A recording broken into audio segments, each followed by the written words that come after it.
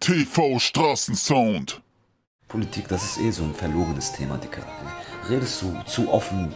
Keiner, keiner, der vor der Kamera sitzt, sagt seine wahre Meinung, die er am Ende des Abends zu Hause bei sich am Tisch mit seiner Familie besprechen. Game-Album gehört. Ist schon draußen? Ja. Laber kein Scheiß. Dementsprechend, dass Hamad 45 in Untersuchungshaft sitzt, wird ja auch kein Song mit ihm kommen. Und Tobias Hoch einmal beleidigt und das war auch nicht nett. TV Straßensound heute mit den Live-Fan-Fragen an PA Sports. Wir haben dieses Foto gerade während des Interviews geschossen und hochgestellt und ihr habt einige Fragen an den PA gestellt. Die erste Frage kommt von Sascha Köster. Welchen Wagen fährt er gerade? Was war sein erstes Auto und welchen Wagen würde er niemals fahren? Mein erstes Auto war ein 3er BMW 320 E36 oder 46, also so ein Baujahr, Baujahr 97 oder so. Okay. Das war voll geil, als ich 18 war. Aber ich habe auch im ersten Jahr, wo ich Führerschein hatte, habe ich viele Leihautos gefahren. Das hat mich so autosüchtig gemacht. Ähm, zuletzt hatte ich einen EQP, den habe ich jetzt gerade von Mercedes abgelöst, weil ich da zu viele Kilometer gemacht habe und deswegen hat es sich nicht gelohnt, den zurückzugeben. Ich habe den komplett gekauft und äh, verkaufe den gerade und äh, sobald, ich habe jetzt schon was in Aussicht, aber ich bin mir noch nicht ganz sicher. Aber die äh, Leute werden doch erfahren, sobald mein Auto kommt. Ich muss doch einmal angeben und einmal Foto posten und dann wissen die Leute Bescheid. Es geht auf jeden Fall weiter nach oben. Okay. Und was würdest du niemals fahren? Jetzt ohne auf dicke Hose oder so machen zu wollen, aber ich würde an sich niemals mehr was anderes fahren als Mercedes, BMW oder Audi. Okay.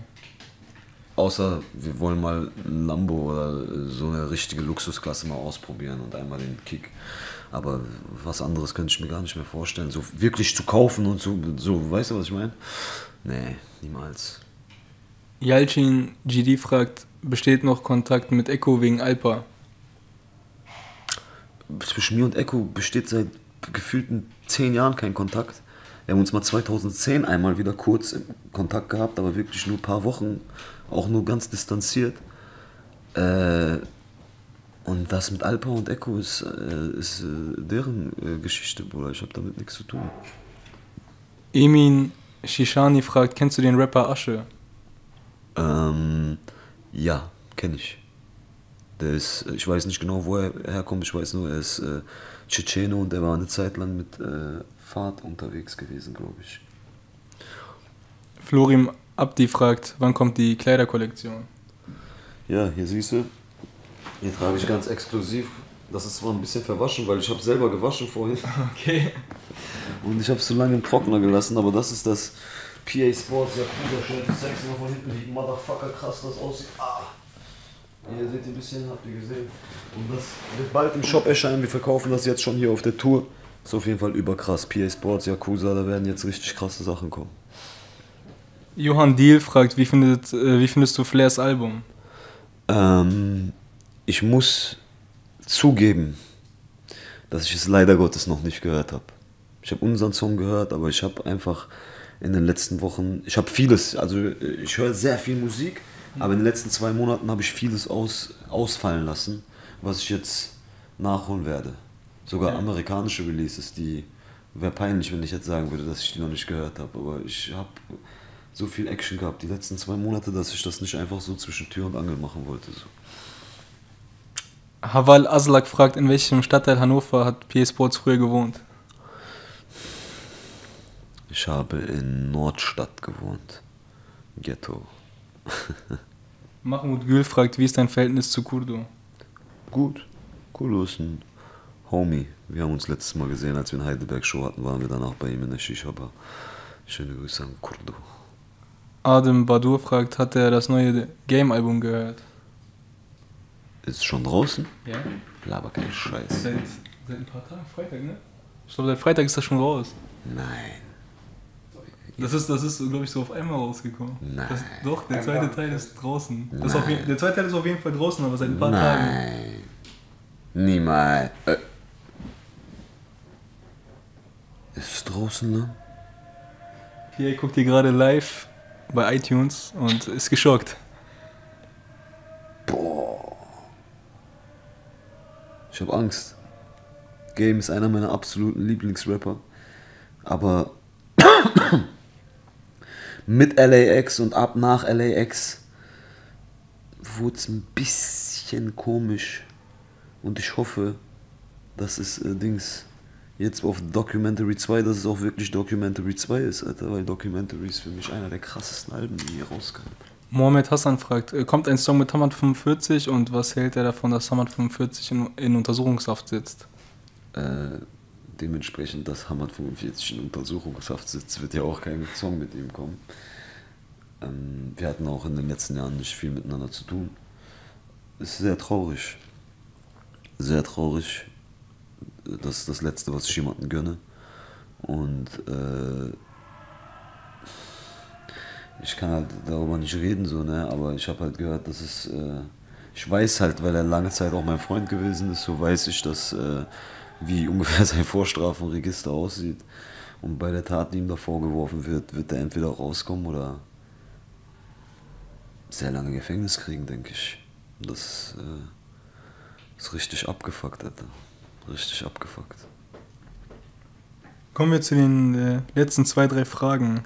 JJ Bro fragt, was hat ihn zu Rap bewegt? Boah. Keine Ahnung, okay. darauf kann ich dir keine direkte Antwort geben. Das können die Kids von heute wahrscheinlich so direkt erklären. Ich habe das Lied von dem und dem gesehen, dann wollte ich auch Rapper werden. Nein, Alter, ich bin einfach mit Musik. Mein Grundinteresse lag erstmal auf Musik und aus Musik wurde dann irgendwann Sprechgesang, Rap. Und ja.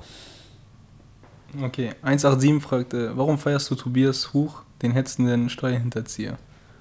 Ich feiere Tobias Huch gar nicht. Ich habe nur äh, Tobias Huch einmal beleidigt und das war auch nicht nett, weil egal was für ein Mensch selbst eigentlich, wenn du selbst den größten Hurensohn vor dir hast, darfst du den nicht Hurensohn nennen. Allein schon von unserem Glauben her, zu fluchen ist, zu fluchen ist äh, verboten. So. Verstehst du? Das heißt, wenn ich auf jemanden fluche und dann sage, ey, sorry, dass ich deine Eltern verflucht habe, dann heißt es nicht, dass ich den liebe, dann heißt es einfach, dass ich Größe bewiesen habe.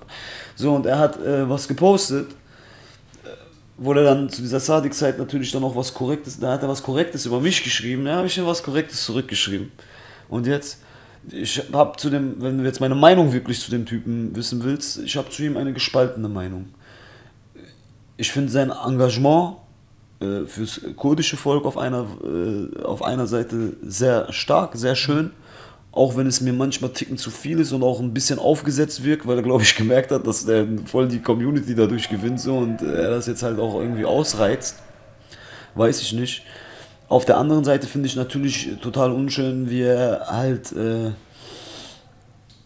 den Islam sehr oft, wie soll ich sagen, verallgemeinert, sehr engstirnig und konservativ betrachtet und äh, halt meiner Meinung nach überhaupt kein Mitgefühl mit dem palästinensischen Volk zeigt. So, weißt du, was ich meine? Und da, da, das, das passt für mich nicht zusammen.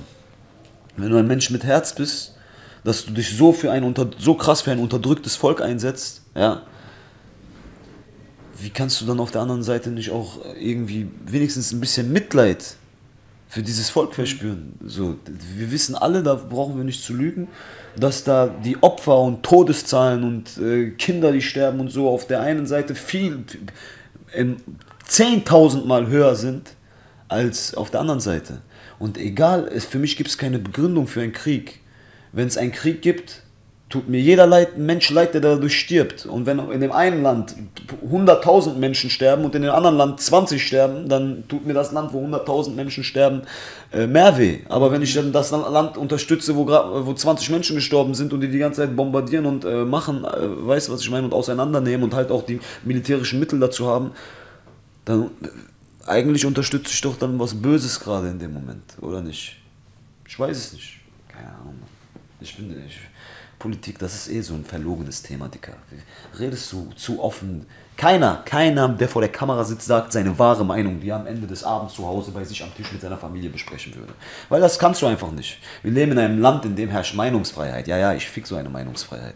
Wenn du deine Meinung sagen würdest, so wie sie wirklich in deinem Inneren drin ist, würdest du morgen äh, boykottiert werden, auseinandergerissen werden, irgendwelche Hurensöhne würden über dich berichten, als ob du der letzte Hurensohn wärst. So ist das. Also komm mir nicht mit Meinungsfreiheit. Hier gibt es hier gibt's eine vorgespielte Meinungsfreiheit, sobald deine Meinung aber sehr eigen ist und für sich steht und auch etwas Starkes oder Krasses oder auch was Schlimmes aussagt, meinetwegen, dann hast du keine Freiheit mehr. Dann wirst du in den Arsch gefickt.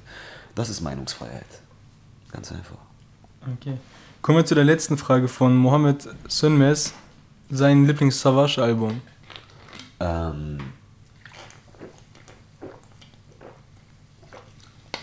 Märtyrer. Ganz ehrlich. Bis Märtyrer hätte ich der beste Tag meines Lebens gesagt. Nicht, weil ich die Sachen danach nicht stärker oder weiterentwickelter fand, aber das war halt der beste Tag meines Lebens. war für mich äh, wirklich ein, eine, eine Prägung, als ich noch sehr, sehr jung war. So. Und das kann man nicht so leicht stoppen. Aber bei Märtyrer ist sein Sound irgendwie, irgendwie hat er auf einmal mir den, ich hatte den Eindruck, dass er auch so ein bisschen auf Beats rappt, die irgendwie so einen Street-Vibe haben und das war einfach, das fand ich richtig geil. Damit hat er mich übelst geflasht und ich finde Märtyrer ist sein stärkstes Album. Aslapi, ich danke dir für deine Zeit. Ich komme zu einem geilen Moment mitten in Casey's Show, so auf die Bühne, mache meine Show, bleibe ein bisschen mit ihm auf die Bühne und habe dann meine Ruhe. auf die Bühne reinzufliegen, wie Michael Jackson. auch Leute, die an dem Tag gebucht waren, wir haben dann immer die Jam gecrossed. Wir sind dann mit unseren Jungs hingegangen, irgendwie auf die Bühne. Nachts keiner geht schlafen, bevor P sein 10 Minuten Freestyle gemacht hat. Ich denke, dass er sehr groß wird. Er kann ein sehr großer Künstler in Deutschland werden, wenn nicht der größte. Ich verschwinde jeden Tag, glaube ich, drei, vier Stunden und bin nur mit dem Buch die ganze Zeit. Manuelsen, PA Sports, Kill 'em All, eiskalter Engel. War bei mir im Hotelzimmer wurde eine Schusswaffe gefunden mit einem hohen Kaliber.